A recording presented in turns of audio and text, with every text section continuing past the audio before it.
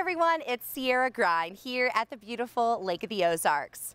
So when you're out boating, especially before the season starts, you might notice that not all fuel docks are open 24-7.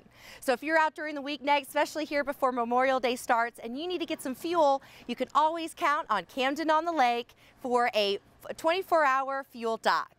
Not only do they have 24-hour fuel service where you can self-serve, they also do Bombay boat rentals right here from the docks. And not to mention you have a luxury hotel if you're looking for a place to stay. And within walking distance, you go right next door to their amazing restaurant where they also have a full stage and incredible live entertainment throughout the summer. So come check out Camden on the Lake for everything you need to stay and play.